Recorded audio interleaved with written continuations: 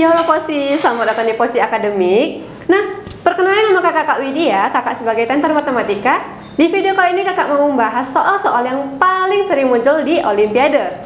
Nah, untuk kalian ingin menjadi juara Olimpiade, tonton video ini sampai habis, tetap semangat and happy watching. Nah, di belakang kakak ini udah ada soal yang salah satu contohnya paling sering muncul di Olimpiade. Supaya nggak bingung, langsung aja kita kerjain yuk Nah, seperti diketahui di antara angka yang diketahui 4 ini, yang habis dibagi 12 adalah cara-caranya adalah kan bingung nih kalau misalnya kita bagiin satu-satunya 12 bagi 12 bagi 12 bagi 12 dan belum tentu langsung dapat. Nah, cara cepatnya adalah 12 itu adalah perkalian dari 1 kali 12 dan 3 kali 4.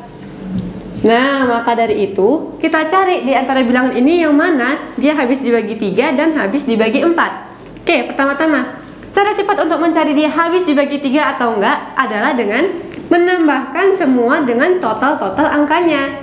Kalau dia kelipatan 3, maka dia habis dibagi 3. Oke, tapi ini khusus untuk kelipatan 3 aja ya. Kamu nggak bisa gunain ini untuk kelipatan lainnya.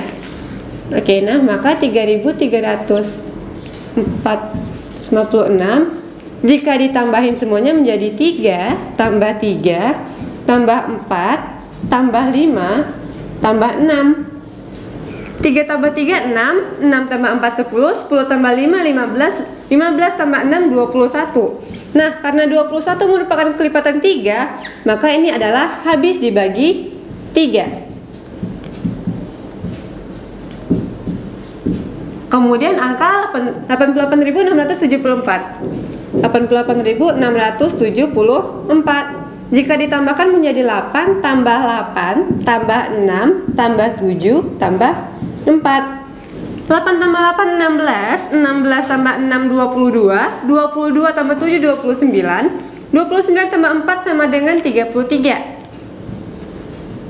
Nah 33 merupakan bilangan kelipatan 3 maka dia habis dibagi 3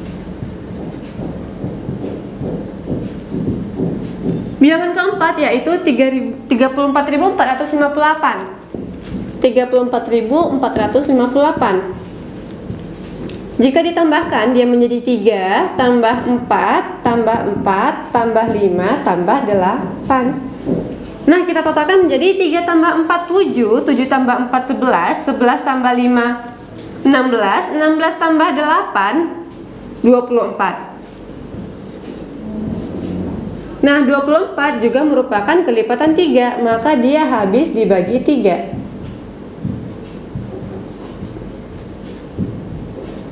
Nah, untuk selanjutnya di angka 77.886 jika ditambahkan menjadi 7 tambah 7 tambah 8 tambah 8 tambah 6 7 tambah 7 14 14 tambah 8 22 22 tambah 8 30 30 tambah 6 adalah 36 36 juga merupakan kelipatan 3 Nah kalau gitu semuanya itu adalah bilangan yang habis dibagi 3 Kita tinggal mencari apakah bilangan itu juga habis dibagi 4 Nah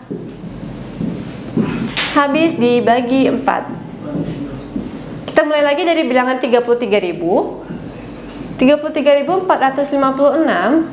Nah kakak punya cara cepatnya juga nih. Cara cepatnya adalah ambil dua bilangan terakhir, dikalikan, dan kita lihat apakah dia kelipatan 4. Oke, maka 5 sama 6 jika dikalikan menjadi 5 kali 6 adalah 30. Dan dia bukanlah kelipatan 4. Nah, kemudian di angka 88.674 kita ambil nih angka terakhirnya. Angka terakhirnya adalah 74. Maka kita bisa kalikan 7 kali 4 7 kali 4 adalah 28 Nah 28 merupakan kelipatan dari 4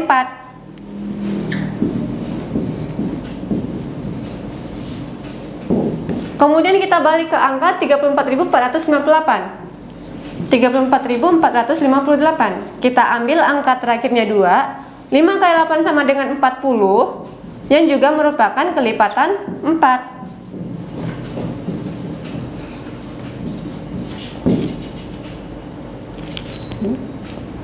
Nah, pada angka selanjutnya ada 77.000 886 kita ambil kita ambil angka terakhirnya sama dengan 8 kali 6 8 kali 6 sama dengan 48 juga merupakan kelipatan 4 maka yang habis dibagi oleh 12 adalah angka 88.674 Kenapa? Karena dia itu habis dibagi 3 dan merupakan kelipatan 4 Kemudian angka 34.458 yang juga merupakan habis dibagi 3 dan juga kelipatan 4 Kemudian angka dari 77.886 karena juga merupakan kelipatan 3 dan juga kelipatan 4 Nah kalau kamu nggak percaya kamu juga boleh langsung cek di kalkulator kamu Nah soal nomor 2 Nah, soal ini juga paling sering muncul di Olimpiade, yaitu mengenai sifat-sifat aljabar.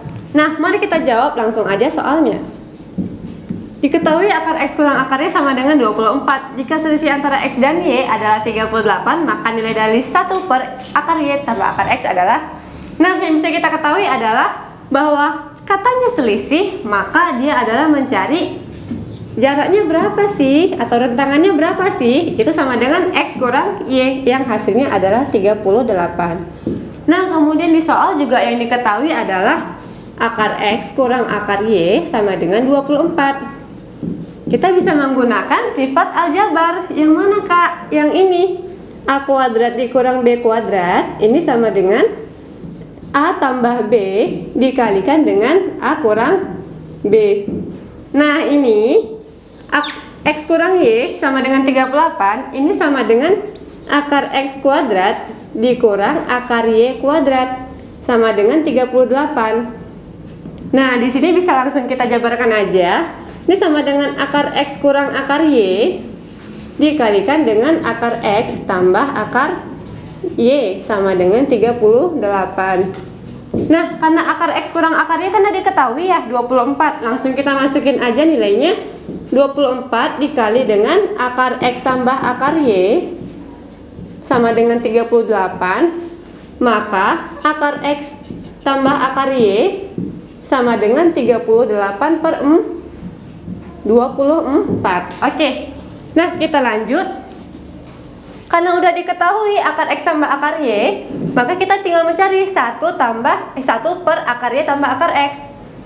Maka 1 per akar X tambah akar Y sama dengan kita balikin aja menjadi 24 per 38 bisa nggak kita kecilin? bisa dong. Kita tinggal bagi dua menjadi 12 per 19 nah akar X tambah akar Y itu sama dengan akar Y tambah akar X karena dia bersifat komutatif kalau pertambahan oke sampai di situ soal nomor 2 kita lanjut soal nomor 3 Soal ketiga ini mengenai akar dan pangkat. Ini juga bakal sering banget kalau misalnya kamu mau masuk OSN.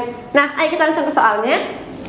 Berapakah nilai yang memenuhi akar pangkat 2, akar pangkat 4, akar pangkat 6, akar X pangkat 12? Oke, langsung aja kita kerjain. Nah, pertama-tama kita ingat dulu nih kalau misalnya akar dan pangkat, arti dari X pangkat 2 sama dengan X pangkat 2 per 1. Dan kalau misalnya nilai dari X akar pangkat 2 dari X sama dengan X pangkat setengah nah kalau gitu bisa langsung kita kerjain dong maka ini sama dengan X pangkat 12 per 2 kenapa? karena kalau misalnya akarnya nggak ditulis ya sama dengan pangkat 2 nih nah maka sama dengan X pangkat 12 per 2 nah ingat-ingat lagi kalau misalnya di sifat perpangkatan kalau dia di dalam di luar kurung nih dia sama dengan perkalian sama dengan 12 kali 4 Kemudian ketemu lagi akar pangkat 6. Nah, ingat lagi kalau misalnya akar pangkat 6 dia akar sifatnya adalah setengah dikali dengan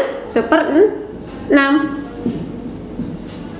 Akar lagi nih ketemu. Nah, kali lagi sama 1 per 4 dan selanjutnya langsung dikalikan lagi dengan seper 2. Nah, udah dapat nih nilainya. Maka ada nggak sih dari antara ini yang bisa kita coret? Tentu ada. Nah, 12 sama 2 bisa dicoret sisa 6 6 bisa kita coret dengan seper 6 4 bisa kita coret dengan seper 4 maka sisanya adalah X pangkat setengah dan X pangkat setengah ini sama dengan akar pangkat X nah mudah banget kan Nah, gimana? Udah tahu kan soal-soal apa aja yang paling sering muncul di Olimpiade? Jangan lupa like dan komen di bawah materi apa aja yang mau dibahas lagi. Share and subscribe. See you on the next video. Bye!